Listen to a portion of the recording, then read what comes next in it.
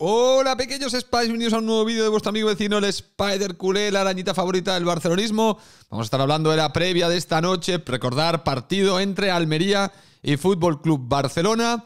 Es nuestro partido número... Bueno, quedarán con este, quedan, al Barça le quedan tres partidos, después de este quedarían dos.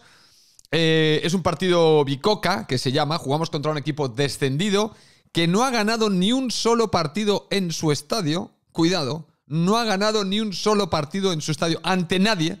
Nadie que le ha visitado, nadie. No han conseguido ganar a nadie. A nadie. Entonces, Xavi esto lo planteó ayer como un partido muy difícil. Porque claro, ellos no tienen nada que perder y nosotros sí. Entonces ya solo este hecho invalida el otro hecho de que el Almería no le ha ganado ni al Tato en su estadio. Tendría guasa que el Barça jugándose la segunda posición, el Almería le ganara, le ganara y fuera el primer equipo al que gana esta temporada, porque para mí sería un ridículo espantoso, espantoso, o sea, una cosa intolerable. Veremos si el Barça sale con, con garra, con intensidad. Dicen que el equipo, que claro, el Almería, eh, como no tiene nada que perder, estará desatado, le, le, importa todo tres pitos, y entonces, bueno, pues mucho más fácil me lo pones. Si está desatado con intensidad y sale a jugar y a intentar meter goles y a intentar dar una alegría a su afición, pues mucho mejor, significará que dejará espacios, que no saldrán cerrarse únicamente, sino que igual intenta hacer alguna cosa. Una Almería que, por cierto, eh, provocó uno de los primeros bochornos y casi silbatina en el estadio de Montjuic, porque si no os acordáis, ganamos 3 a 2, creo que ese día Sergio Roberto metió un doblete y ahí se empezaron a ver ya em, gestos de la grada bastante preocupantes. ¿eh? Ya hubo pitidos, ya hubo tal, porque aquel partido fue un auténtico bochorno por parte del Barça. Bueno, uno de los muchos que hemos vivido esta temporada y que muchos se niegan a reconocer. Para muchos, incluido Xavi, pues un partido que, claro, muy difícil, es que es el Almería, que no le había ganado a, nadie, me parece todavía, porque creo que ha ganado uno o dos partidos en toda la liga y ahí cuando nos visitó en la primera vuelta no había ganado a nadie. Entonces, bueno, casi, casi nos meten un lío porque el Barça es un, es un pequeño drama. Es un pequeño drama que veremos a ver cómo lo resuelven. Luego sale otro vídeo hablando del pequeño drama del Barça porque, porque me está tocando mucho todas las pelotas Em, el discursito, el relatito y todo para escudarnos y no, y no hacernos responsables de lo que es ser entrenador del Barça, ser presidente del Barça, ser eh, director deportivo del Barça. todo con tal de no tener que enfrentarnos a según qué cosas, oye, desviamos la atención con cualquier cuentito y eso es ser un buen barcelonista. Entonces yo soy el gran, el gran abanderado del club. Mirad, yo no lo soy. Yo no soy el gran abanderado del club, yo no soy el gran defensor del club, yo no soy posiblemente el mejor barcelonista, no, no me voy a poner esa medallita, solo tenéis que decidir vosotros, cada uno decidirá quién coño soy.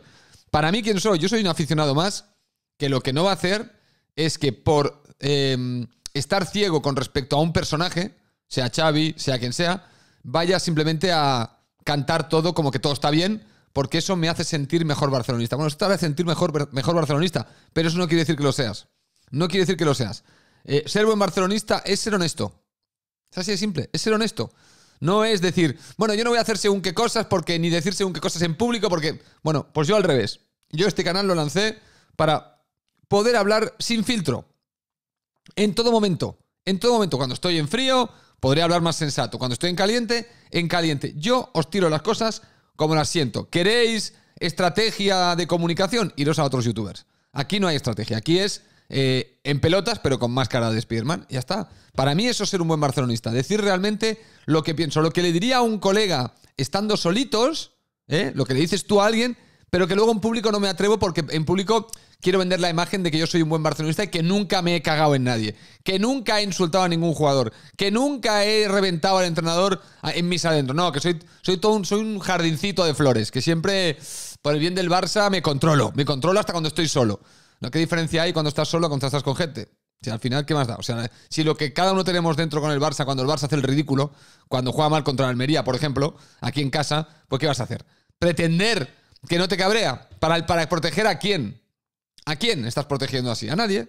A nadie. Es simplemente un cuentito que te haces tú para hacerte el cancherito de que eres el mejor aficionado del Barça. Pero la realidad es que yo, yo la sensación que tenía en YouTube es que la gente venía y quería honestidad. Quería que fuéramos nosotros mismos, que no escondiéramos nada, que no engañáramos con, bueno, estoy muy cabreado, pero como voy a insultar a todo el mundo, mejor no hago vídeo, lo hago mañana, ¿sabes? Lo hago mañana en fresquito, cuando se me pase todo. y así siempre quedo como un tío calmado y tal. Pues no, pues yo pensaba que no era la idea. Pensaba que la idea era, bueno, ya que tenemos esta plataforma y que estamos en el siglo XXI, pues la idea era mm, no ir de una cosa que uno no es, no ir de, es que yo no me hago pajas, es que yo no sé qué, es que yo no miro a la vecina, es que no, se suponía que esto era para decir la verdad y, asumir que la verdad y lo que es es lo que es y no hay más. Y que eso nos iba a ayudar a avanzar en, todos los aspectos, a nivel club, a nivel sociedad, a nivel todo. Pero resulta que estamos en una sociedad de la censura. Estamos en una sociedad de según qué cosas no las puedes decir, porque quedan mal, porque están mal vistas. Ah, bueno, o sea, cada vez, cada vez más moralidad cuando se suponía que íbamos a gestionar la moralidad entendiendo la naturaleza humana, que la naturaleza humana está llena de cabreos, está llena de, enfados, está llena de alegrías. Claro, somos, somos, somos un sistema dinámico de emociones, no somos una balsa de aceite. Ah, es que es mejor ser una balsa de aceite. Bueno, será para ti, para mí no. O sea, porque yo no soy una balsa de aceite. Entonces, claro, bueno, pues este canal es así. Entonces, yo hoy, que por cierto, vamos a retransmitir el partido en directo, no os lo perdáis, esta noche, yo espero que el Barça, que va a jugar sin Gundogan, porque está sancionado, creo, eh, y Ter Stegen se está jugando en Zamora y Lewandowski el Pichichi, veremos a ver qué tono da el Barça hoy. Veremos a ver cuál es la imagen que da el Barça ante un equipo muy inferior, por más que Xavi diga que es muy difícil, es muy inferior en la Almería, señores. Mirar la diferencia de puntos en la clasificación, los partidos que ha ganado, que ha ganado 1-2. Somos la noche y el día con el Almería. La noche y el día. Entonces, no, el Barça tiene hoy una obligación, que es la de sumar los tres puntos para virtualmente asegurarse la segunda posición. ¿Que puede pinchar? Sí, claro. Por poder pinchar, puede pinchar, porque si pincha, empata o pierde, bueno, pues seguirá siendo segundo a falta de dos partidos. Pero tenemos que llegar realmente a la última jornada con los huevos en la garganta pensando que igual no clasificamos segundos. De verdad, nos tienen que hacer pasar un último sopor antes de que acabe esta temporada nefasta. No, espero que no. O sea, espero que estos jugadores hoy den el do de pecho, liquiden a la Almería, si puede ser, den un pequeño festival, como hace el Madrid con el Alavés, como hace el Madrid con el Granada, pues espero que el Barça también. Es que tú le pides mucho al Barça, es que tú... No, yo mucho no le pido. A ver, no, somos... Porque si no, hacer una cosa. Si yo le pido tanto al Barça, no seáis ya, no, no, no interpretéis al Real Madrid como el archienemigo. Porque si tú al Barça le vas a pedir una cosa que no es la que puede acceder, pero que sí puede acceder nuestro archienemigo, entonces no estás al nivel de tu archienemigo. Olvídate de arbitrajes si tú mismo te delatas. Si tú mismo en un momento dado dices, no, no, pero claro, tú que crees que el Barça va a meter 4 y 5 goles a todo el mundo. Bueno, el, el, Real Madrid con la liga ganada se ha follado fuerte al Granada y el otro día al Alavés. Ayer. Entonces, no, o sea, el Madrid lo puede hacer, nosotros no. No, que tú no entiendes que ellos han podido fichar. Chaval, el año pasado nos gastamos más de 200 millones de euros en fichajes, moviendo palancas. ¿Cómo que no hemos podido fichar? O sea, es que hay que reclamar lo que, lo que, lo que le corresponde al Barça, lo que nos corresponde a los aficionados, que es mantener la jerarquía de equipo grande. ¿No queréis equipo grande? Dejar de hablar del Real Madrid. Ni os comparéis. Ni os comparéis. Si, si no estamos al nivel del Madrid, no os comparéis. Está, ni, no, os enfadéis. Ni hay en el Madrid que roban, ni roban ni pollas. Vosotros mismos estáis diciendo que no estamos al nivel, porque el Madrid sí puede meterle 4 o 5 al Alavés y nosotros no. No a la Almería. No, a la Almería no. porque es muy difícil. Porque el Almería es muy difícil, el Granada es muy difícil. El Alavés, pues mira, para el Madrid, el Granada, el Alavés, no son difíciles. aunque le costó ganarlo y con un arbitraje lamentable, porque es verdad que el, Almería casi gana al Madrid en el Bernabéu, si no a ser por el árbitro, seguramente hubiese ganado. Eh, al resto de equipos el Madrid se lo está ventilando como quiere, como quiere. Pues, ¿es mucho pedirle al Barça? No, lo siento, pero no. Somos el Barça.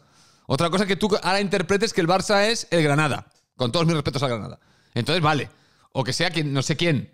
Pero la verdad es que no somos ese tipo de equipo. Somos un equipo a la altura.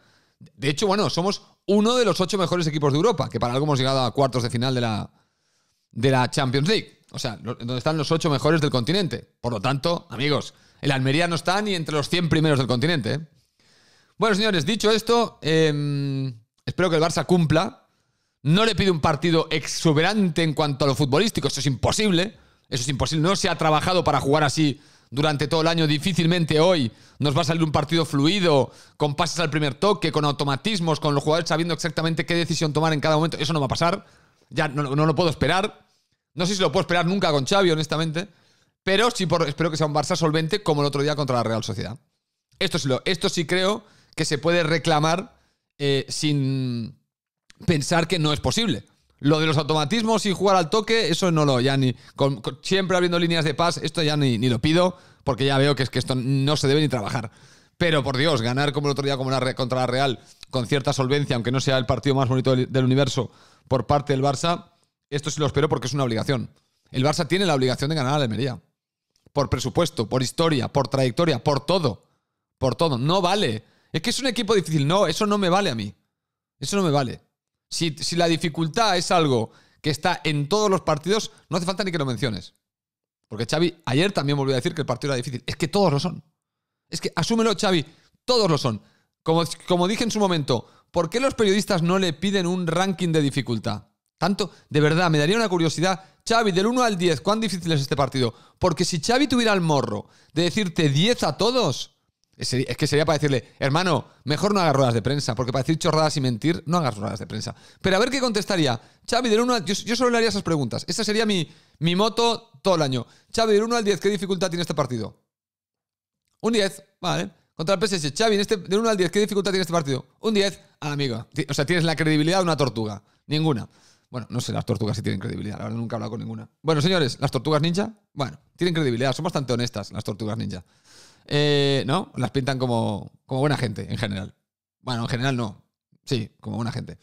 Señores, no sé qué digo ya, estas tortugas ninja. Nos vemos en el próximo vídeo. Chao.